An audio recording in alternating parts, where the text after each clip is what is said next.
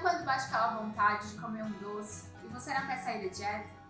Para isso, eu vou ensinar para vocês a receita de um docinho saudável de tâmaras com apenas três ingredientes: chocolate, tâmara jumbo e pasta de amendoim.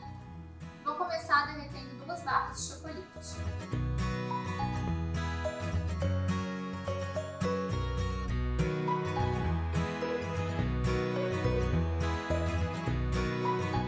Próximo passo é cortar a tâmara ao meio e retirar o caroço.